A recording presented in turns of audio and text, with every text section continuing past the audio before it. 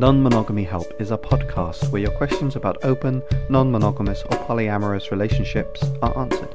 Our host, Lola Phoenix, will consult a licensed therapist with over a decade of experience to address your problems. Names and locations have been changed or censored to keep your questions anonymous. You're listening to Non Monogamy Help, the podcast. To episode 44 of the Non Monogamy Help podcast. I'm Lola Phoenix. Please send your questions to nonmonogamyhelp at gmail.com and they'll either be read in the podcast or the column anonymously. If you want to read the columns and listen to the podcast, you can go to nonmonogamyhelp.com. Subscribe to our email newsletter by going to go.nonmonogamyhelp.com forward slash email. And you can follow us on Twitter at nonmonogamyhelp.com or at nonmonogamyhelp rather. If you want to support the columns and the podcast, I'd really appreciate if you become a patron. Even $1 a month really, really helps towards all the costs to running the podcast and the columns, and it shows a general vote of support. If you donate $5 or more a month, your name, with your permission, will be read at the end of the podcast. You can do that by going to patreon.com forward slash Lola Phoenix. Let's get to this week's discussion question. If this is the first time you're hearing this, every week before I read the letter, I put forth a discussion question that you can use with your friends and your partners and anyone else to get to know them a bit more. I also answer it myself briefly to give you a little bit of context. This week's discussion question is What often impairs your decision making process? Lack of confidence, impatience, desire to please, overexcitement, etc. I think that what often impairs my decision making process is over obsessing about every single potential way that something could go wrong or not, you know, basically go wrong. I'd like to say go right, but it's mostly just go wrong. And that often makes it really, really hard for me to make a decision about anything. Yeah, that's kind of where I'm at with that. Very short answer because I know what impairs me. All right, let's get to this week's letter.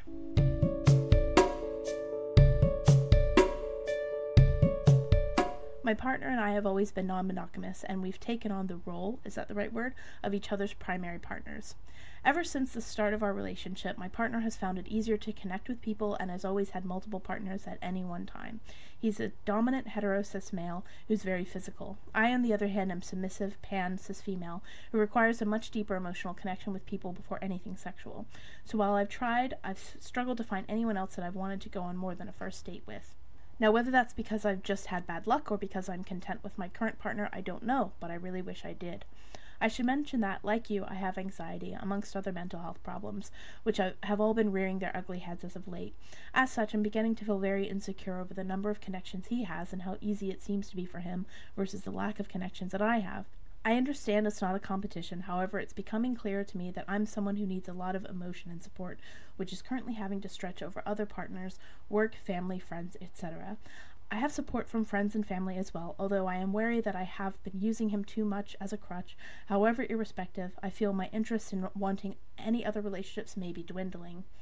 We spoke, and my partner asked if my overall view on non monogamy had changed, or if this was just because I was feeling lower than usual at the moment and therefore more insecure and I couldn't answer him. It's like I started having an internal argument with myself, my anxiety making it impossible to work out what was real.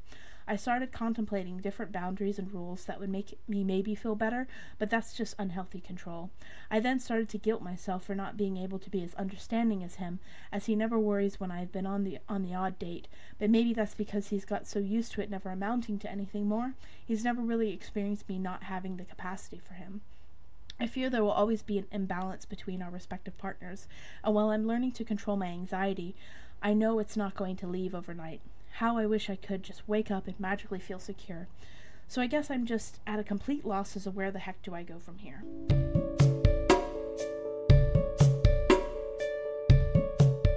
Before we get to this week's answer, I'm going to quickly plug this episode's sponsor, BetterHelp.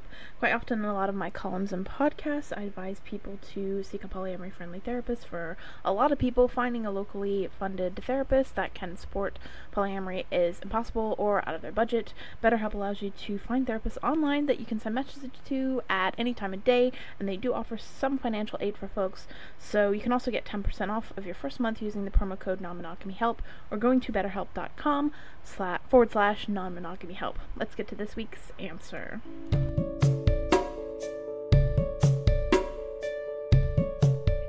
So, first and foremost, this is actually going to be pretty short because you're overthinking it. to to put it lightly. You're really overthinking the situation. Like you can I I am I wouldn't consider myself to have any interest in dating. I don't actively date. I don't try to find other partners because dating sucks. I don't like it. I don't enjoy the company of the vast majority of people. I don't really like people. The entire reason that I personally have chosen to do non monogamy isn't because I like so many people that it's hard to choose or whatever. It's because I like so few people that if I do find someone that I like, I want the chance to pursue something with them. Kind of at the opposite end of that spectrum. And it is it's partly anxiety, like my anxiety absolutely contributes to it, but I also just am not that interested in it. And I've experienced something very similar. Like I I've had to accept that no matter what kind of relationship I have, if I have a, a, domestic relationship with someone, they're always going to be dating more people than me. Like, generally speaking, unless I find someone who is exactly like me, they're going to be dating more people than me. And I've, it's taken a while, but I've pretty much, you know, just given up on the idea that I need to be out there pursuing dates all the time. And for a long time, I felt like I had to do that in order to be polyamorous or be non monogamous. I had to have multiple partners. And that pushed me into doing a lot of things I didn't really want to do, going to a lot of places I didn't want to go, and to just being in situations I had no interest in being and it, I it also pushed me to feeling quite jealous that you know because I assumed that other people you know my partner having more connections with me somehow must be that they're better than me in some way. And you know it's hard to to work through those feelings but you can you could spend the rest of your life never you know finding another partner other than the person that you're with it doesn't make you any less or more polyamorous than anyone else. Like you're gonna feel a lot of pressure, and you probably are putting a lot of this pressure on yourself, especially because like I totally understand feeling like ah uh, I'm I my partner's kind of the only person I have to really go to, and they also have these other people, and I feel guilty about that. But you know it is what it is, and at any given situation somebody might be in the exact same situation with like a best friend or somebody else. And as long as you're like having a dialogue together about it, and as long as he's able to tell you, like, look, I'm not able to provide you with this support right now, and you know, you, you said you had friends, you said you had other people, so you're not completely and utterly alone.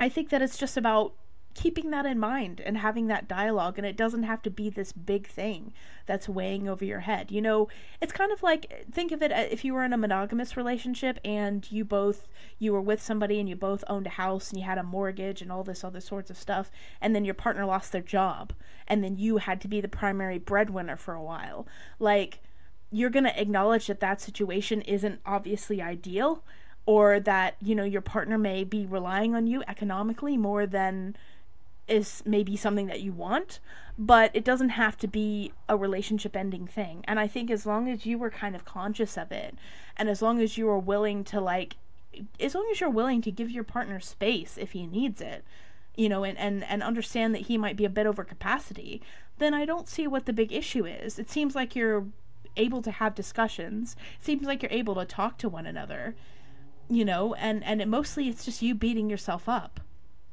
mostly it's you like you because you're you're having this kind of internal argument with you and with yourself and you're trying to be like oh should i you know create these boundaries and rules and make me and then you realize that that's not going to fix the situation but then you're still beating yourself up and guilting yourself and you know oh he's has no problem with everything and i need all the support you know? It is what it is. Different people have different constitutions for things and you know human beings are an interdependent species contrary to what, and I'm assuming that you grew up in a similar culture to me, and if I'm wrong, then I apologize. But contrary, we we live in this in a culture that encourages individualism to the point that it's so often especially if if you are a woman especially if you're told by society that or you you know you get the message from society that you know you shouldn't you can be too needy you can have too many needs and we sort of think that we need to be these individual islands where we don't rely on anybody and we never need to ask anybody for help. That message gets really grained into us, but we we're an independent or sorry, interdependent species. We you know, it's there's a reason why solitary confinement is a form of torture because we need one another. We need to talk to people, we need to be in communities, we need to be, you know, cared by others. That's it's a human need and that's okay. And he may not need that much support from you right now, but that doesn't mean that there's anything wrong with you or wrong with him or wrong with the situation. You know, I mean, I I have kind of just accepted at this point in my life like if I find another partner, like another, I mean, I've had dates and things like that, but like, you know, I've got one domestic partner and I've had some chances at things, but nothing's really stuck. And, you know, I, I do want to like I want to have another live-in partner. That's like my ideal situation, but it may not happen. I may not find another person. I've had situations that I thought were going to turn into partnerships that didn't. But it'll happen when it happens. And I'm but I'm not going to like think that I'm less suitable or less capable or there's something wrong with me or you know it, it, I'm sure you've been in a situation where someone has been attracted to you who was a lovely person who, you know, there's nothing wrong with them, you just don't feel anything for them. And that's okay. Just because you are not, you know, that you don't get so many connections doesn't necessarily mean there's anything wrong with you and it might be you know my domestic partner right now connects with all sorts of people finds it really really easy to connect with people. And it could be because maybe i've had more trauma maybe you know oh all this horrible things that have happened to me and i don't trust people and i'm working on all that like i'm trying to work on um you know not being so nervous and scared of new people and not seeing them as a threat. And partially kind of like I think why I don't connect with people as easy as my partner does is because of some of that. But I am where I am. I'm in the situation that I'm in. And you know I, it's not even necessarily about security. It's just about you know just you, you can't you know, fix everything overnight.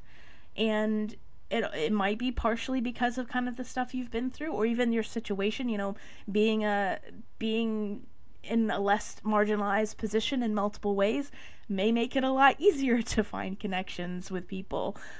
I feel like my partner that i'm with now my domestic partner i feel like when we started our relationship there were probably you know i feel like i've kind of corrupted them in a way you know, I think they're they're less able to deal with some of the shit that they would have dealt with now that they're less able to deal with it now. So maybe they maybe they would, you know, you make connections with people and and sometimes like they say horrible shit like that's my experience you know i'm, I'm interested in dating someone they say something terrible i'm just like oh fuck you know that sometimes can happen a lot to me. Some people can write that off. Some people are fine with that. I feel like like i said my partner is probably less fine with that now. You know i've kind of brought them over to the to the grumpy side of it. But you know it, it, you are kind of just overthinking it and beating yourself up a little bit when you don't you don't need five partners to be polyamorous. You don't need 10 you don't need two you you by saying I'm polyamorous and that's or I'm non-monogamous and that's how I want to live my life. That's enough. There is no test, there is no license. You don't have to prove anything to anybody. And if anyone wants to come along and say, "Well, you know how another mind," they need to mind their freaking business. Mind the business. Are they are they the polyamory police? Mind the freaking business. So you know, try and I mean, if you have access to polyamory friendly therapy, please do try to find it you can absolutely find it um, out there. Even you know if there's no one around in your immediate area look at skype therapy look at phone therapy. Just try and be a little less harsh on yourself. And and you know for all the virtues of your partner yeah he's like you said like he's being real understanding now but maybe he hasn't had a lot of situations that have threatened his jealousy. So maybe that has a lot to do with it but just you know trust that your partner is going to be able to tell you when when they're when they're not feeling up to things. You have to be able to extend that trust to to him as well. And trust that you have good enough communication that even if bumps do occur in the road it's not going to throw everything off course and you'll be able to cope with it. Because you never know when something happens and you never know when you know life has a uh, can be unpredictable and something can happen and all of a sudden someone needs your support someone needs your help and you have no idea like what's going to happen in the future. So try not to overthink it too much. Give yourself a little bit of credit And screw anyone who has something to say about how many partners you have or how often you date.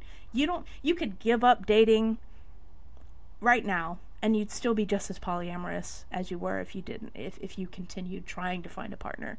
You know my my position is just let it happen and maybe maybe adopting that position will like it'll take some of the pressure off of your shoulders to find somebody else so that you can have someone else to rely on or whatever like just it'll happen when it happens and just let it happen okay i hope that helps and good luck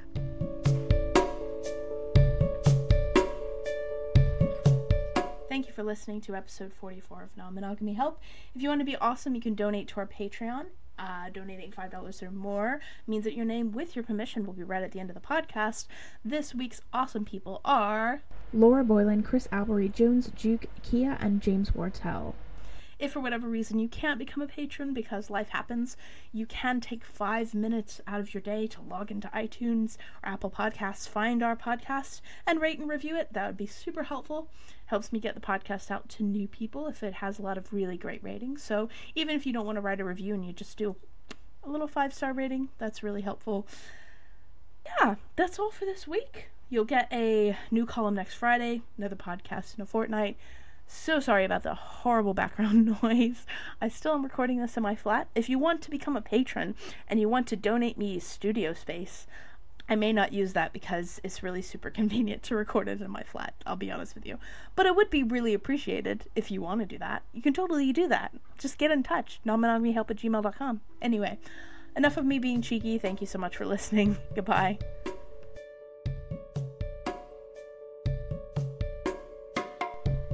You've been listening to Non Monogamy Help. Our podcast music has been provided by Chris Albery Jones at albery-jones.com, and the art was made by Dom Duong at domduong.com. Thank you for listening.